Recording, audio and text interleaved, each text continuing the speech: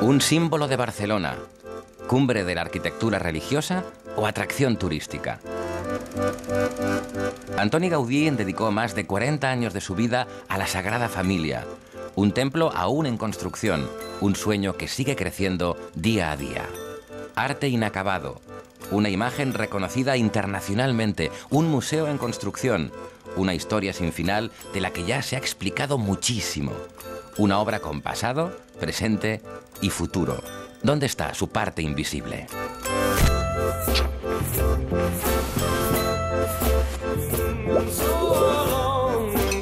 Las obras se tocan, se ven, pero en el arte siempre hay una mitad invisible que explica muchos porqués.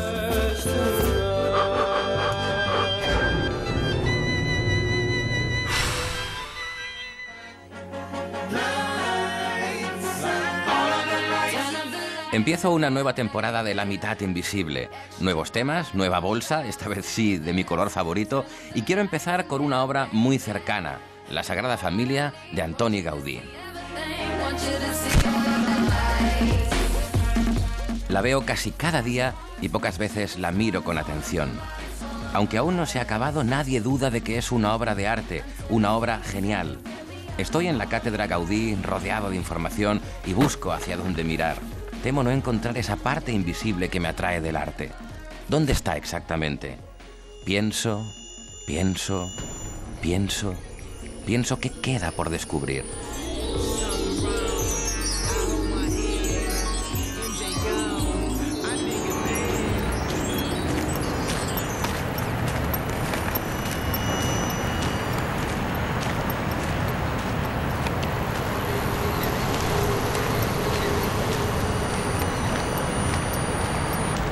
Visito el templo como un turista más.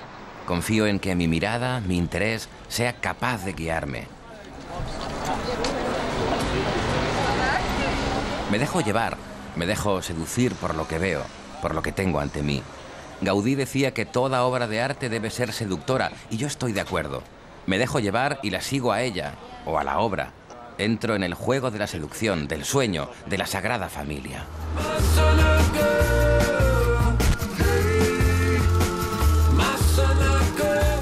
Pregunto cómo son los sueños. A veces crean nuevas realidades, a veces desordenan la que ya existe, otras veces mezclan realidad y ficción. Este lugar es sin duda el resultado del sueño de Gaudí y trato de entender cómo lo imaginó, cómo se crea una obra de arte así, cómo se sueña exactamente.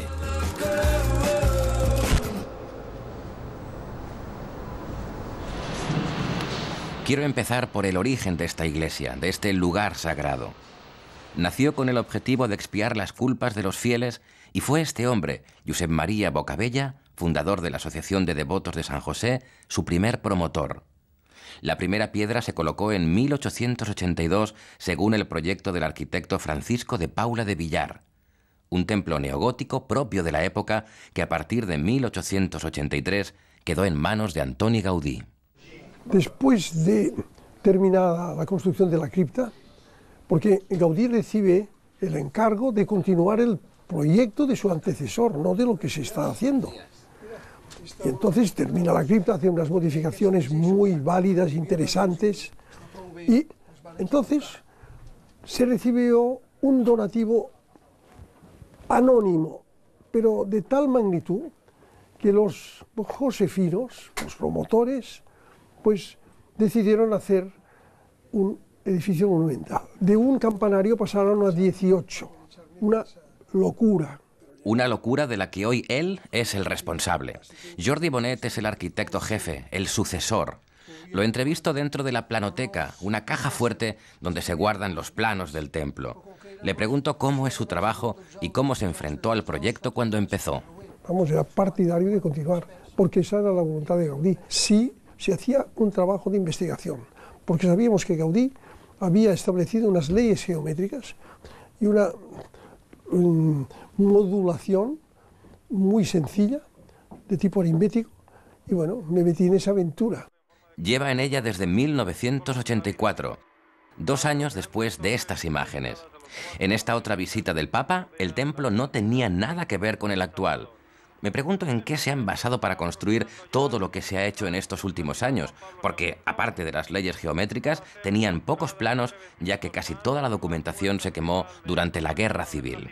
Gaudí, su visión de la Sagrada Familia, su idea, como es algo que él llamaba una nueva arquitectura, era difícil de entender con unos planos, porque se usan unas formas que jamás se habían usado en el mundo de la arquitectura.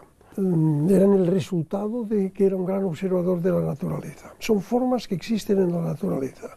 Gaudí necesitaba hacer unos modelos, unas maquetas, primero, para que lo que era difícil de entender sobre unos planos, incluso por los propios que lo tenían que construir, pero sobre todo por los que daban dinero para que se construyera. Me escapo al taller de maquetistas. Ana Ripoll me ayuda a entender lo que me explica Bonet. Las maquetas fueron clave en el diseño de Gaudí y siguen siéndolo ahora para cumplir su voluntad. Tengo el privilegio de visitar un espacio inaccesible. Aquí están los restos de las maquetas originales. Estos trocitos de yeso son los que modeló el arquitecto. En ellos se basan. Ana me explica el trabajo actual y las nuevas técnicas utilizadas. Aquí realizan todas las piezas en pequeña escala antes de hacerlas definitivas. Es una especie de laboratorio de pruebas imprescindible. Lo fue hace un siglo y lo sigue siendo hoy. La diferencia es que ahora con las nuevas tecnologías se realiza en horas lo que antes suponía semanas o meses. Con Jordi Bonet hablamos también de las nuevas formas de trabajo, del tiempo que ahorran y de cómo afectan en concreto a los arquitectos. Entonces hay unas, unas tecnologías que merece la pena de aprovechar y eso es lo que estamos haciendo. Nosotros la informática nos es fundamental, nos ha sido fundamental para poder precisamente determinar con exactitud lo que Gaudí había pensado. Hoy día, un edificio, hay quien piensa que a los 100 años tiene que derivarse y hacerlo nuevo. Esa familia tiene que durar 2.000 años como mínimo. El templo expiatorio de la Sagrada Familia. El templo se ha construido desde sus inicios gracias a aportaciones anónimas de fieles. Tal vez algunos eran cristianos que buscaban el perdón de sus pecados. Campañas como esta fueron durante años clave para recaudar fondos.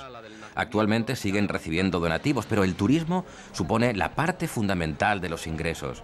Nunca se ha recibido dinero público. Me sorprende que una obra de arte se financie de esta forma, imprevisible, invisible. La historia de la Familia es como la historia de todos los pueblos, con sus altos y bajos, sus momentos de gloria y sus momentos de fracaso. Bueno, ahora estamos en un buen momento, que dure. Bonet me enseña cuáles fueron las primeras polémicas entre el templo y la ciudad. Son copias de los planos originales donde Gaudí había diseñado los alrededores del templo. El arquitecto había imaginado una plaza estrellada que nunca se respetó. Se acabaron haciendo dos plazas a los lados y se construyó un edificio frente a la fachada principal. Pienso que ahora, como entonces, las polémicas alrededor de la Sagrada Familia son inevitables. Recientemente ha sido el AVE. Prefiero no entrar, no opinar. Lo que sí tengo claro es que los conflictos seguirán porque se enfrentan intereses, un espacio de culto privado y necesidades urbanísticas, turismo y ciudadanos, arte y negocio. Antes de despedirme le pregunto qué cree que pensaría Gaudí si viera la obra que él dirige tal como está ahora. Hacemos lo mejor que podemos y pensamos también que eso que decía Gaudí, que en la Sagrada Familia, en un momento determinado, pues es providencial. Esto se ha realizado, tal como digo, providencialmente muchísimas veces. Y estamos, por lo tanto, en cierta manera, tranquilos de que nuestro trabajo, porque el trabajo de un gran equipo, pues va por el buen camino.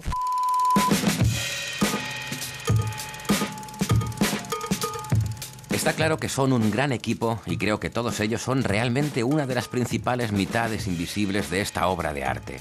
Cientos de trabajadores anónimos. Han cambiado las técnicas, las generaciones, pero todos los que han pasado por aquí en distintas épocas han contribuido igual, ¿De cuántos trabajadores hablamos? ¿Se sentirán artistas? Es difícil de calcular y de saber. Me voy con ellos. Verlos en acción es un privilegio. Estoy en una obra de arte en construcción. Es como si me colara en el taller de Velázquez, en una grabación de Berlanga o en la construcción de la Alhambra. Quiero aprovecharlo. Paseo entre andamios, en los más altos. Los veo trabajar. Hay más de 100 Ellos me pueden contar qué sienten, cómo trabajan. Sobre la base de la nave está el taller de construcciones metálicas, un taller que ha ido moviéndose y subiendo con las obras y hoy tiene unas vistas de lujo.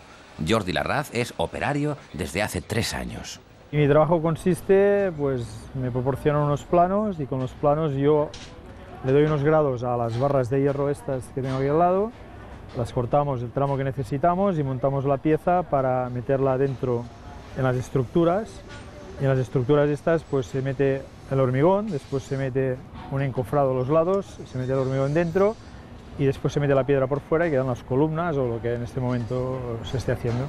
Le pregunto cómo reacciona la gente cuando dice dónde trabaja y me cuenta la broma más habitual que suelen hacerle. Bueno, ahí tendrás trabajo para toda la vida, el tópico, ¿no? Pero no, no, yo creo que les vamos a sorprender, que terminaremos antes de que de lo que piensan. Y quizás sea así, viendo el ritmo al que trabajan. Jordi reconoce que para él es un honor trabajar aquí, aunque su labor, que siempre queda escondida tras la piedra, esté entre las más invisibles. Sigo mi paseo por las obras y entro en el interior de lo que será la torre más alta, la Torre de Jesús. Llegará a medir 170 metros. Me sorprende ver tanta madera, un material que me atrae especialmente, pero que es poco habitual en obras como esta. La torre que se está levantando atrás, toda la torre de esto, todas las grandes hipérbolas, todas las grandes que se hacían de yeso, nosotros para poder avanzar más las hacemos todas de madera. Y entonces el paleta se, adapta más a eso. Entonces, tipo barcos como cuadernas, ir poniendo eso con tableros marinos y 20.000 cosas de estas para podernos adaptar más, para poder echar hormigón, hacer capiteles. La madera la hemos adaptado nosotros, porque en sí los maestros somos, bueno, son mis compañeros, vamos. Salvador Guardiola es el encargado de carpintería desde 1996. Me sorprende que compare su trabajo con el de otros artistas, algunos polémicos, que también han participado en la Sagrada Familia. Como la fachada de la, de la Pasión, que ha sido criticada del señor Subirás, pero él siempre ha estado allí con su cubismo, su parte recta, sus líneas rectas, y yo pues siempre como mi madera, como mi línea recta. Si no, me si no estoy a gusto en un sitio o no me gusta, no me marcho. Y nosotros siempre hemos, con nuestra manera de ser, siempre hemos sido en esta línea recta. Él en su cubismo y yo en mi, y yo en mi madera. Lo miro y pienso que sí, que Salvador es tan artista como un escultor. Por eso le pido un autógrafo. Envidio su pasión. E intento a mis compañeros aplicarle el amor que yo tengo a la madera, porque así es lo mío en la madera y me dejan hacerlo y me dejan hacer con nuevas tecnologías y todo eso, pues fíjate, estoy encantado. Me gusta la carpintería. Mi tío Filemón, que pese al nombre es real y no fruto de ningún sueño, era carpintero. De niño me daba maderas y clavos. Esas cosas marcan y ahora viendo a Guardiola trabajar con la misma alegría y pasión, pienso que deberíamos dar más valor al artesano, darle más prestigio de artista, tanto a él como a otros muchos.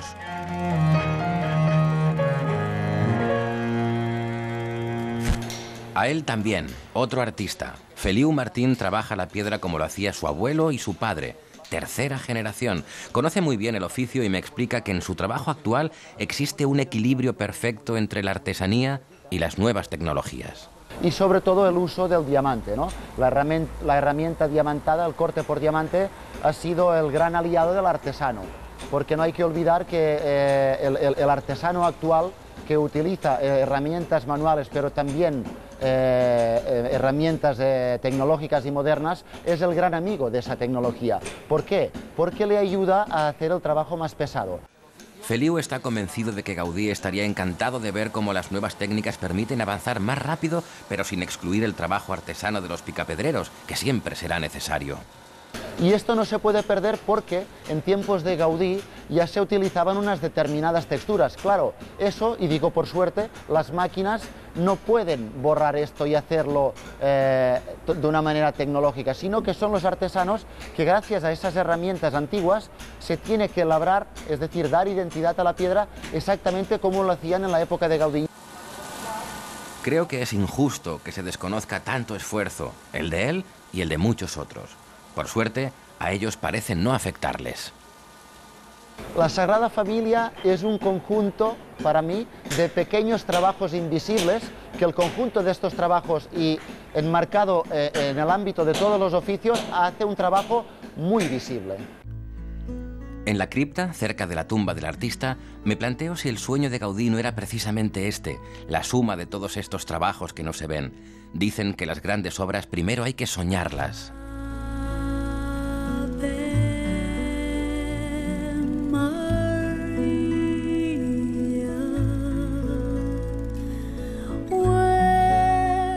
La imaginó él? ¿Cómo era él, Antoni Gaudí? Quiero entender mejor a este arquitecto y su manera de entender el arte, la seducción. Me pregunto qué hay de realidad y de sueño en esta obra de arte, en Gaudí, en mí mismo.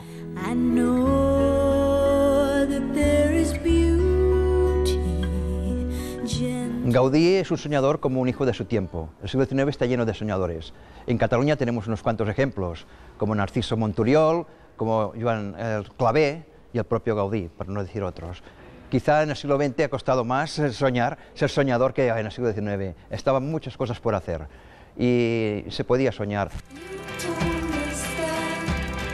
En Barcelona, cerca de la primera casa en la que vivió Gaudí en 1868, encuentro a Ferran Aïssa.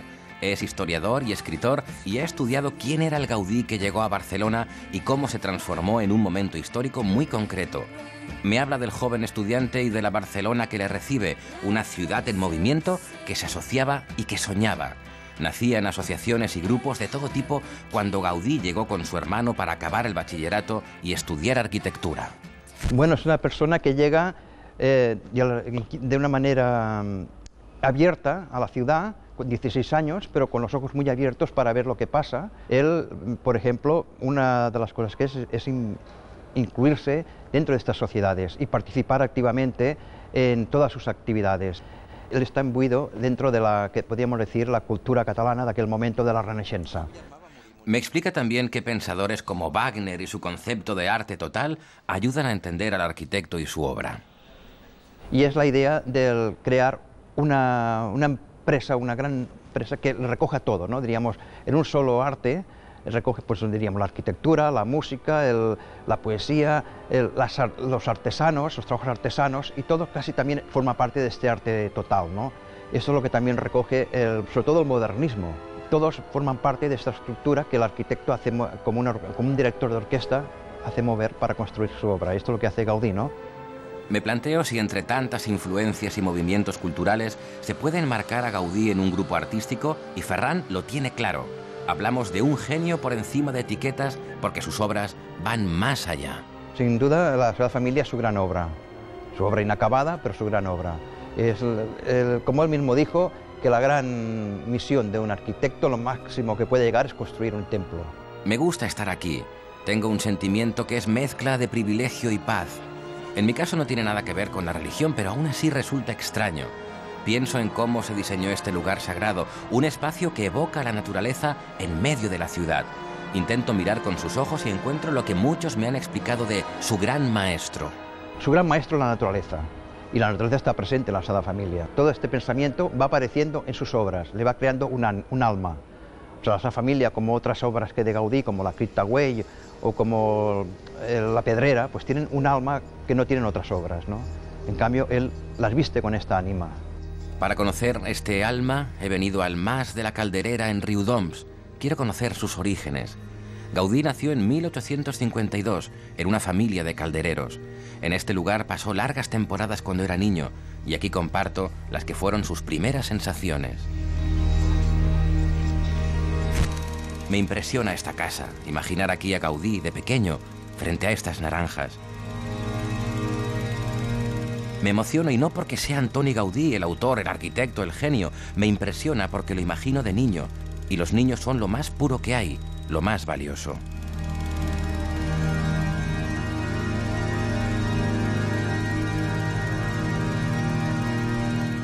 Yo jugaba en la Sagrada Familia, en aquel momento no había turistas. Recuerdo el interior de la manzana de la Sagrada Familia completamente vacío y nosotros corriendo por allá o subiendo a toda velocidad las escaleras de las torres y bajándolas corriendo para notar la sensación de vértigo y de temblor en las, en las piernas. De manera que para empezar, es, eh, Gaudí es una presencia absoluta eh, en eh, mi infancia, y por tanto en mi, formación, en el imaginario de, mi formación.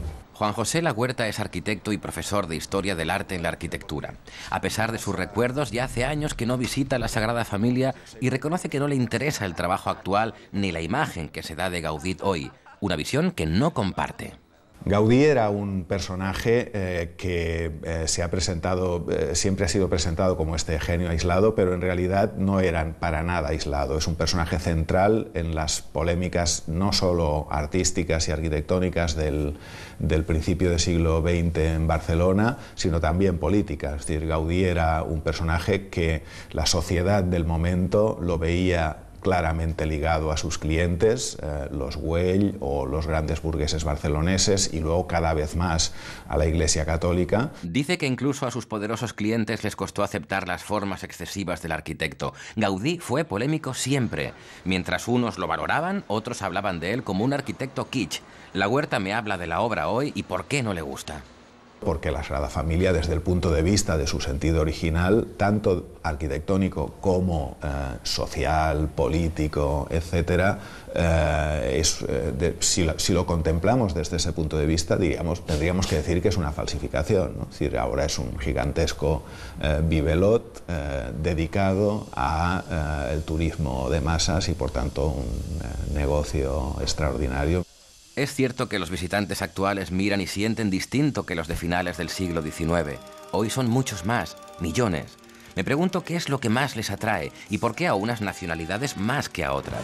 Es difícil saberlo, pero lo que sí tengo claro es que la mayoría fotografía un símbolo, una obra de arte que poco coincide con la idea del templo que tenía Gaudí, el lugar creado, la casa de Dios.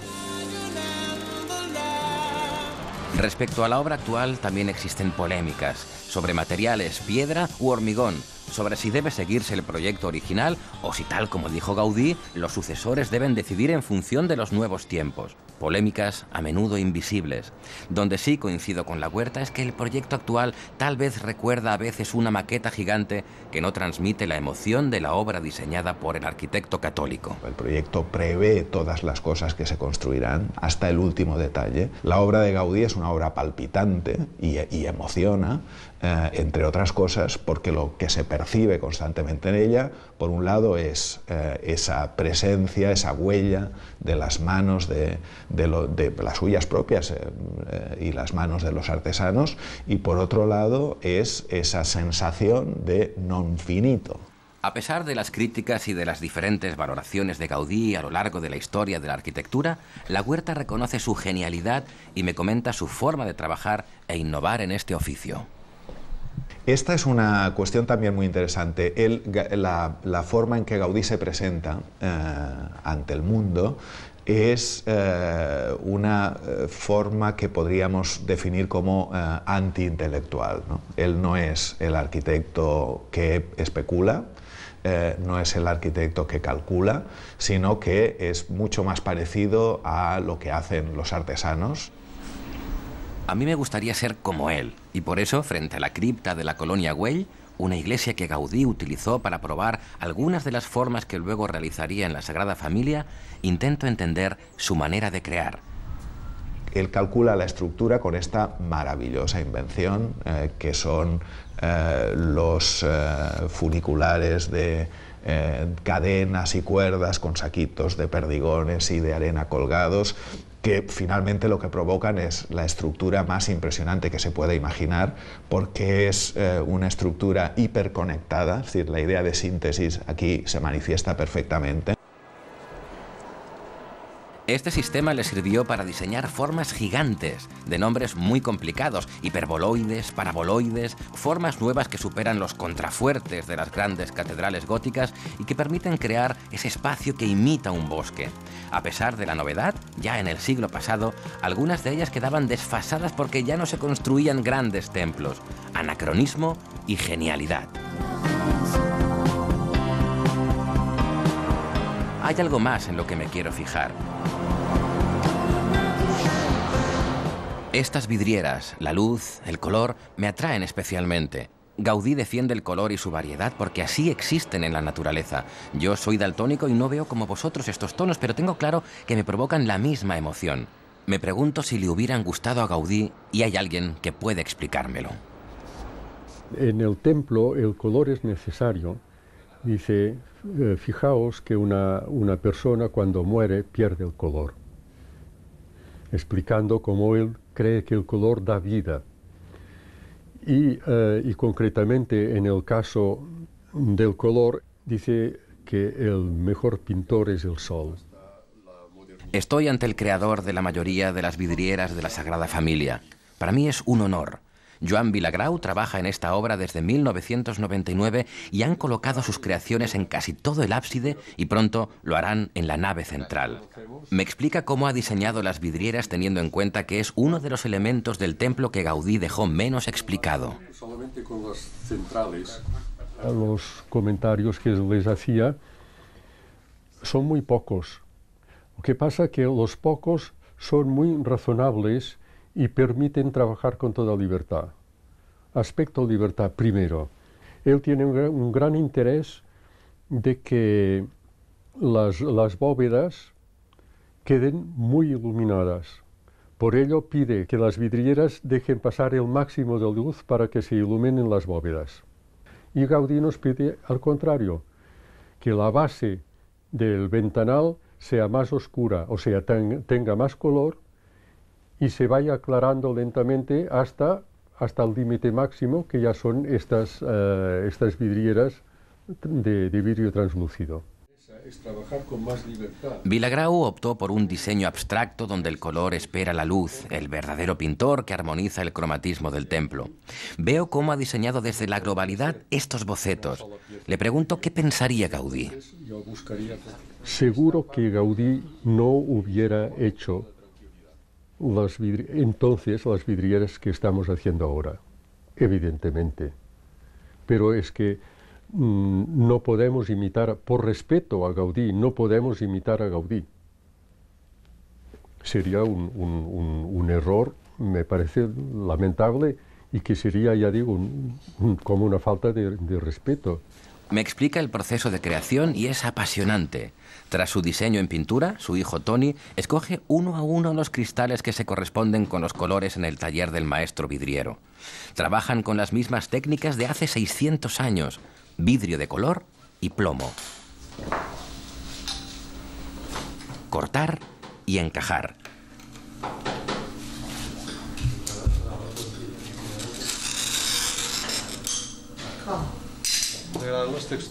Gaudí, en la época, hubiese diseñado figuras y ahora Villagrau ha solucionado la demanda de contenido con el ritmo del plomo y la armonía del color, buscando crear un ambiente sagrado.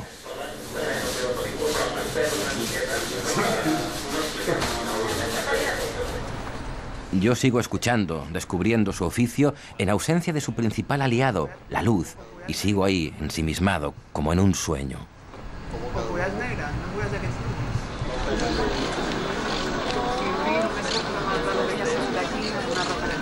Estoy llegando al final del programa, no al final de la obra. He visto muchas partes del templo, su historia, algunas polémicas, su autor. Hola. Mira, la Familia. Me han hablado del futuro, distintas opiniones. Y yo intento imaginarla, soñarla, aunque sea en cartón. Pero de repente, algo no cuadra. ¿Qué ocurre? Chica, no entiendo nada.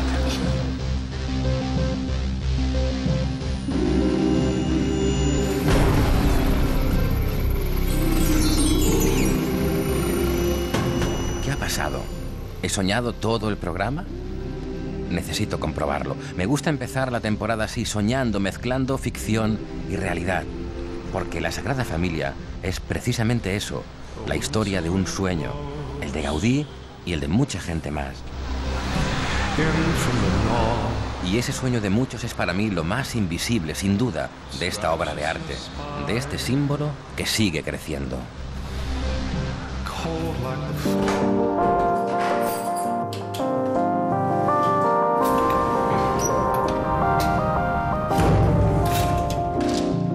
Tengo más preguntas.